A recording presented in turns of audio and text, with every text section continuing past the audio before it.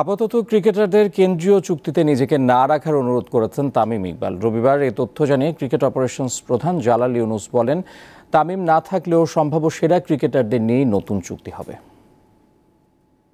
হাত ধরেই আমার আসলে গেল জুলাইয়ে আকস্মিকভাবে অবসর ঘোষণা। পরের মাসে অধিনায়কত্ব থেকে সরে দাঁড়ানো থেকে শুরু করে সবশেষ বিশ্বকাপের দল থেকে নিজেকে সরিয়ে নেয়ার অনুরোধ। সব মিলে সবশেষ ছয় মাসে মাঠে সবচেয়ে কম সময় থেকেও বাংলাদেশের ক্রিকেটে সবচেয়ে আলোচিত ক্রিকেটার তামিম ইকবাল।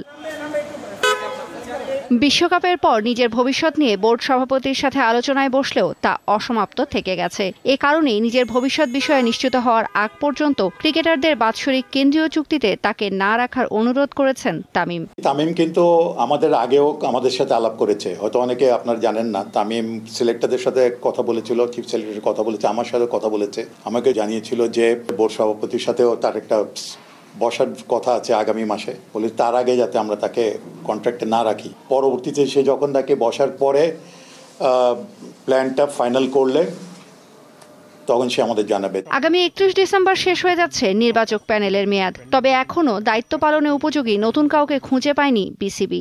এটা একটা বড় একটা আমাদের জন্য চ্যালেঞ্জ আসলে আমরা চিফ সিলেক্টর পাওয়াটা বা এরকম চেঞ্জ করা বা নতুন কাউকে অ্যাপয়েন্টমেন্ট দেওয়া এটা একটা বড় একটা ব্যাপার। এটা নিয়ে সবাইকে ব্রেন স্ট্রম করতে হচ্ছে, তো এটা সময় লাগবে। তবে আমরা, যাই হোক, আমরা একটা তো সিদ্ধান্তে আসব। আসন্ন জাতীয় সংসদ নির্বাচনের আগে নতুন কোনো কিছুই হচ্ছে না। নির্বাচনের পর বড় পরিবর্তন আসতে পারে দেশের ক্রিকেটে। তসেয়া ইসলাম, দীপ্ত স্পোর্টস। আপাতত ক্রিকেটারদের কেন্দ্রীয় চুক্তিতে নিজেকে না রাখার অনুরোধ করেছেন তামিম ইকবাল। রবিবার এ তথ্য জানিয়ে ক্রিকেট অপারেশনস প্রধান জালাল ইউনুস বলেন, তামিম না থাকলেও সম্ভাব্য সেরা ক্রিকেটারদের নিয়েই নতুন চুক্তি হবে।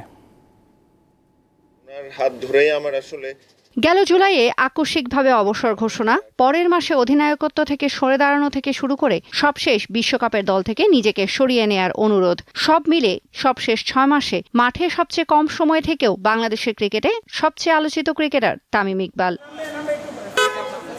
বিশ্বকাপের পর নিজের ভবিষ্যৎ নিয়ে বোর্ড সভাপতির সাথে আলোচনায় বসলেও তা অসমাপ্ত থেকে গেছে। এ কারণেই নিজের ভবিষ্যৎ বিষয়ে নিশ্চিত হওয়ার আগ পর্যন্ত ক্রিকেটারদের বাৎসরিক কেন্দ্রীয় চুক্তিতে তাকে না রাখার অনুরোধ করেছেন তামিম। তামিম কিন্তু আমাদের আগেও আমাদের সাথে আলাপ করেছে। হয়তো অনেকে আপনার জানেন না, তামিম সিলেক্টরদের সাথে কথা বলেছিল, চিফ সিলেক্টরের কথা বলেছে, আমার সাথে কথা বলেছে। আমাকে জানিয়েছিল যে বোর্ড সভাপতির সাথেও তার একটা বসার কথা আছে আগামী মাসে। বলে তার আগে যাতে আমরা তাকে কন্ট্রাক্টে না রাখি। পরবর্তীতে সে যখন তাকে বসার পরে প্ল্যানটা ফাইনাল করলে তখন সে আমাদের জানাবে। আগামী একত্রিশ ডিসেম্বর শেষ হয়ে যাচ্ছে নির্বাচক প্যানেলের মেয়াদ। তবে এখনও দায়িত্ব পালনে উপযোগী নতুন কাউকে খুঁজে পায়নি বিসিবি। এটা একটা বড় একটা আমাদের জন্য চ্যালেঞ্জ আসলে আমরা চিফ সিলেক্টর পাওয়াটা বা এরকম চেঞ্জ করা বা নতুন কাউকে অ্যাপয়েন্টমেন্ট দেওয়া এটা একটা বড় একটা ব্যাপার। এটা নিয়ে সবাইকে ব্রেন স্ট্রম করতে হচ্ছে, তো এটা সময় লাগবে। তবে আমরা, যাই হোক, আমরা একটা তো সিদ্ধান্তে আসব। আসন্ন জাতীয় সংসদ নির্বাচনের আগে নতুন কোনো কিছুই হচ্ছে না। নির্বাচনের পর বড় পরিবর্তন আসতে পারে দেশের ক্রিকেটে। তসেয়া ইসলাম, দীপ্ত স্পোর্টস।